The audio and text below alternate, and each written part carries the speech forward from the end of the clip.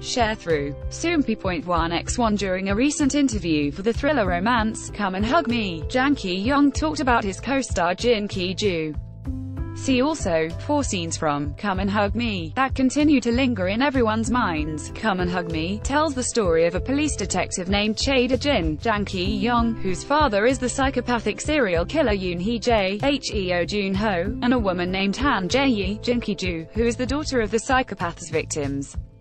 Soompi. Display, News. English .300x250, BTF Soompi. Mobile. English .300x250, ATF Jang Ki-yong said, As I said during the press conference, this has been a very precious opportunity.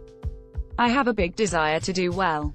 In the drama, I am able to naturally immerse myself in the filming because of the pain Jin and Jae-yi feel for each other.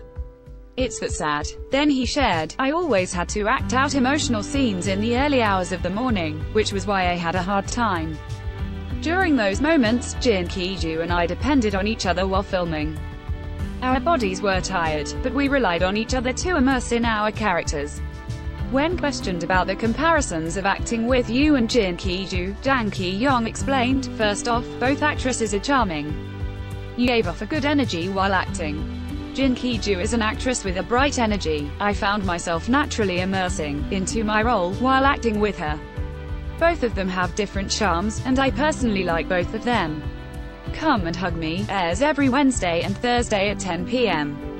KST. Check out the latest episode below. Watch now Source 1.